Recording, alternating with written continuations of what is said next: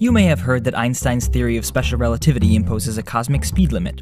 Nothing can travel faster than the speed of light.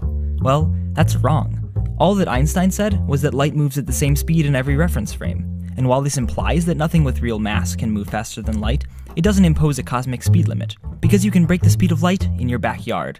All you have to do is point a laser beam at the moon and flick your wrist. The spot of light from the laser beam will travel across the moon's face in about half a millisecond, which means it's traveling at 20 times the speed of light. How is this possible? Well, think about a computer screen. What's the speed limit for pixels on the screen? Zero. Pixels can't move. But if you cleverly arrange a whole bunch of pixels to turn on and off in a special way, you can make an image that appears to move across the screen, even though every pixel stays put. So you've broken the speed of pixels. The laser pointer on the moon is basically the same. Each photon travels to the moon at the speed of light, but the image of a dot that they form on the surface moves 20 times faster.